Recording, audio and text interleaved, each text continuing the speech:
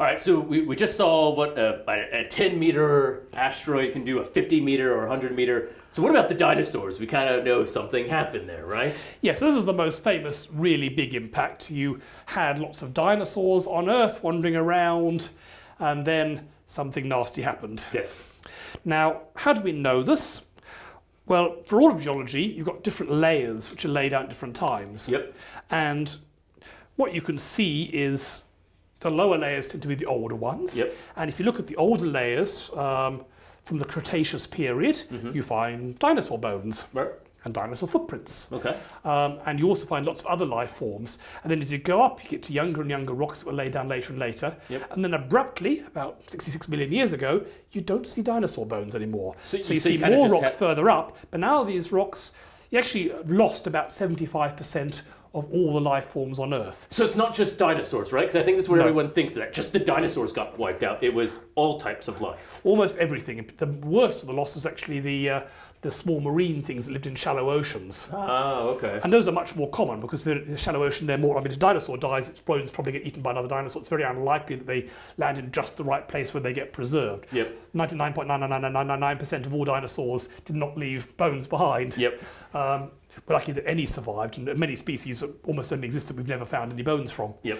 But microscopic marine organisms, my f- uh, first ever job was working uh, for oil exploration and with organic geochemists. They would look at rock samples and they'd measure all the tiny microscopic organisms and use it to date the rocks. Ah, okay. And the tiny microorganisms are everywhere, they, and it's very easy to date these things, and most of them died out. Okay. So you look just rocks just a bit older than that, you're seeing lots of dinosaurs, lots of organisms, and above, not much at all.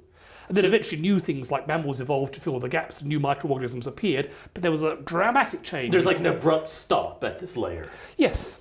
So clearly something happened, and this is mass extinction. There are several mass extinctions in the fossil record. Okay. This one, uh, it's called the Cretaceous Paleogene or Cretaceous Tertiary extinction because the geological periods at each, each end. Okay. Um, is But it's- the but most said, famous. but it's there are the other ones, one. like the Yep. Permo-Triassic one, which actually killed more species a few hundred year, million years earlier. We just focus on the dinosaurs. Yes, well, geologists focus on all of these ones, but this is the one that's got the, the media coverage. Yep. And so what happened? I mean, there were lots of candidates. This is a time when there was a lot of volcanic eruptions. The Deccan traps in India were erupted about this time, which is a huge volume of lava that came out, and possibly numerous other things went on. But it's become clear that this one, probably not the other extinctions, but this one probably was meteorite induced. Yep. And the reason we think that is what you've got here is the rocks that are older and younger, and you've got a layer in the middle. Yep. Now, in some places in the world, this layer, you can see signs of what looks like tsunami deposits. Yep. But all around the world, this layer, sometimes it shows a bit of ash, Yep. but it always shows too much of particularly element iridium. Okay. Now, iridium is not exactly a common No, that's right. element, Yep. and it turns out it's pretty rare on Earth, Yep.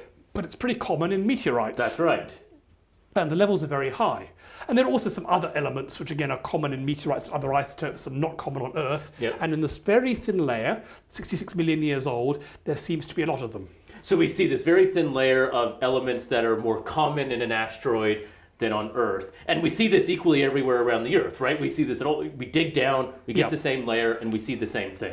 Yes, and we've now identified probably where it happened, which Yep. is a Chicxulub crater in um, the Yucatan Peninsula in Mexico. That- and if you look there, there seems to have been a very big impact. There's not much visible on the surface, but you can see the rocks have been deformed by a shock wave passing through them. Yep. And that produces some very characteristic minerals that can't be produced any other way.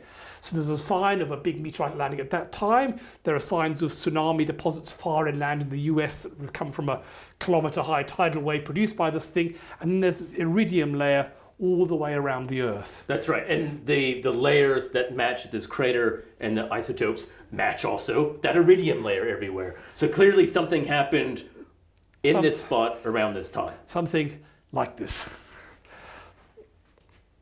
So, if this is probably a big rock, Yeah. we're not talking 10 meters or 100 Yeah, it has meters. to be much bigger. We're probably talking 10, 10 yeah. kilometers, Yep. um, which is still a very small asteroid. I mean, it's much smaller than Ceres, right? Yes. Um, but a 10 kilometre thing hitting, what will happen? Well, here's a time sequence of what happens. If it lands on land, it blows a shock wave, Yep. uh, blows some material out. Eventually, things flow back in at the bottom. Yep. Uh, the shockwave goes through the Earth, and huge amounts of debris are thrown into space. If it lands in the ocean, it will probably vaporize a large amount of water, leaving a hole in the ocean. Yep. Then the water will flow in, Yep. spouts out, producing a massive tsunami that comes out. Okay. So it's probably going to be some combination of all these things. So it's not just that the there's a tsunami, but you actually get dust that get kicks up into the Earth's atmosphere as well. Yep, but there's actually a problem in working out how it could wipe out 75% of all life on Earth. Yep.